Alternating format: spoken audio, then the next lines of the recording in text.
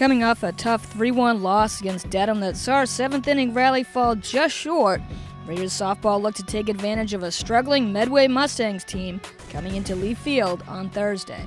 In the first, Raiders bats get right to it, taking the first pitch is Sammy Tong, who drives it into left for a double. Tong would then score Wellesley's first run on an RBI double by pitcher Julia Pearl. Later in the inning, now leading 3 to nothing, Julia Gagosian would line a laser up the middle, Jessica rounds third. The throw is there, but it gets past Medway's catcher. And just like that, Raiders open up a 4 0 lead. Top second, though, Mustangs strike back.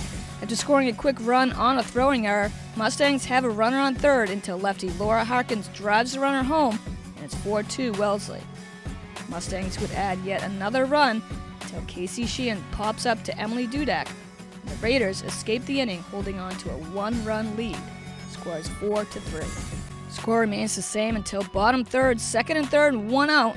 Wellesley's pinch hitter Alice Rocha drops a perfect single down the first base line, sending both runners home and extending the lead 6 to 3. Big inning continues as Raiders pick apart Medway's pitcher Julie Kasparian throughout the game.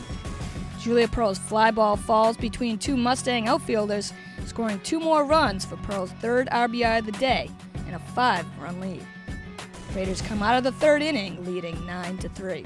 After three runs by Medway in the second inning, solid relief pitching by co-captain Sarah Goss denies the Mustangs from scoring any more runs. Bottom fifth would end up being the final inning as the Raiders score four more times. The game automatically ends as the mercy rule goes the Raiders' way. Wellesley wins big at Lee Field the final score Raiders 13, Mustangs 3. And Wellesley continues with their hot streak as they face the 10 and 8 Walpole Rebels. Raiders get out to a quick start in the bottom first for the second game in a row. With one out and runners on the corners, Julia Pearl steps up to the plate. Consistently clutch at the plate this season, Pearl patiently fights off seven pitches until she finally bloops a single to left and scoring two Raiders. Bench player Olivia Hunter gets the start and makes it count driving it deep to right center for a stand up triple, scoring Pearl. And after the dust settles, it's 3 0 Wellesley. Raiders would get all the runs they needed in the first two innings alone. As we go to the bottom second, bases are jammed with Raiders. Olivia Hunter grounds it softly, but ends up being the perfect spot with no throw and everyone is safe and a run scores. Julia Gagosian's infield pop up cannot be reined in by Walpole's pitcher Steph Sem, and that brings in yet another Wellesley run, making it 5 0 Raiders. Rebels are finally able to get a run in the sixth on a Lauren Reagan RBI single, that's all they can get across, and so we head to the top seven. With Walpole known for their dramatic comebacks this season, looking for one last rally, get the bases loaded, and only one Rebel out. But Sarah Goss would be clutch in relief once again for Wellesley getting the second out by way of the K and snatching this line drive right back to her for the last out. Wellesley wins yet another exciting game, handcuffing the powerful Rebels bats to the final score of 5 1 over Walpole. Raiders in their last seven games are 5 and 2, outscoring their opponents 60 to 26. Now at 8 and 10, Wellesley continues to fight for a well deserved tourney run. Looking to carry the momentum of a big 15 5 Bay State Conference victory over Braintree, girls lacrosse had another important matchup, this time facing a tough team, Newton North Tigers. And after a Wellesley turnover, Newton North strikes first when Summer Diaz dishes it inside to captain Nicole Quinn, and the Tigers have an early 1 0 lead. Minutes later, Raiders would connect on an Ashton Krasikas restart to tie it up. Brennan Garfield then gives Wellesley a one goal lead when her shot streaks past goalie Eliza Bresler and it's 2 to 1 Raiders. Ashton Krasikas would then drive the ball top shelf, and we got a 3 to 1 Wellesley lead here at Sprague. With about five minutes left in the first, Nicole Frontiero goal and a Kylie Noonan score, and it's 5 2 Wellesley. But before we go into halftime, Newton North would gain momentum as two restart goals by Caroline Wise and Shannon Fitzgerald leave the Tigers only down by one, 5 to 4 after one period. Ashton Krasikas opens the second with yet another clutch score, giving Wellesley a two goal lead. Raiders would continue to add to the lead And after this goal by Sophie Vernon puts the Raiders up 8 to 4, things are looking good. But that goal wakes up the Tigers offense instead, and Newton North orchestrates an impressive 5 0 run in the last half of the final period. Sparked by goals from Molly Devine and captain Shannon Fitzgerald, the Tigers find a way to erase this deficit and retake the lead 9 8. Final seconds remain as the Raiders desperately try to tie it up, but time runs out. The Tigers celebrate their come from behind victory, and Wellesley can't believe their lead slipped away. Raiders lose a tough one here, falling to Newton North by the final 9 8. Wellesley has a challenging road ahead of them as they fight to stay in tourney competition.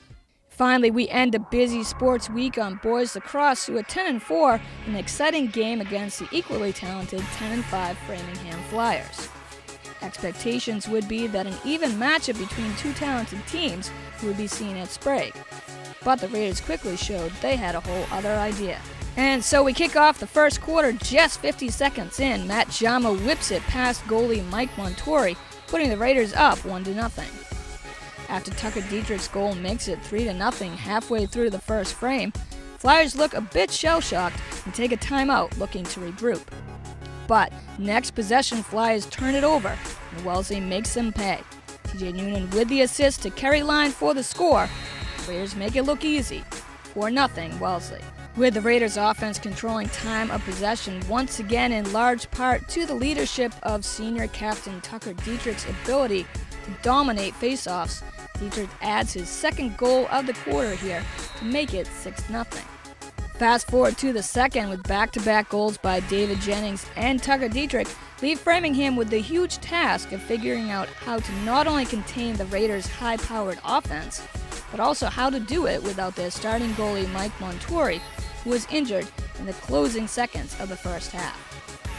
Everything keeps going wrong for the Flyers as they head into halftime, shut out down 8 to nothing.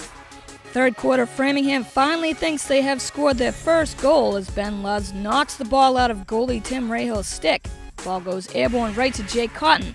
Cotton drills it in, but it's ruled no goal as Ben Luz was in the crease, and the Flyers remain scoreless. Later in the quarter, though, Flyers officially do get on the scoreboard when Amir Kassipur top shelves it left corner pipe. It's 9 1 Wellesley. Kassipur finds somewhat of an offensive rhythm with his second goal of the quarter, but his team remains down by a lot, 9 2.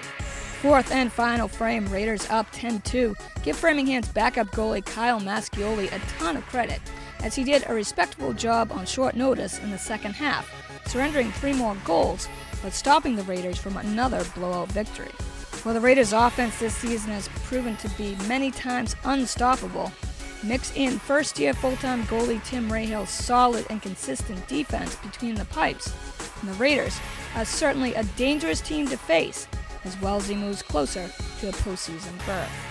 Flyers really never had a chance in this one as Wellesley gets another statement win, beating Framingham to the final score of 11 to 3. For this week's Raiders Sports Report, I'm Rebecca Karen.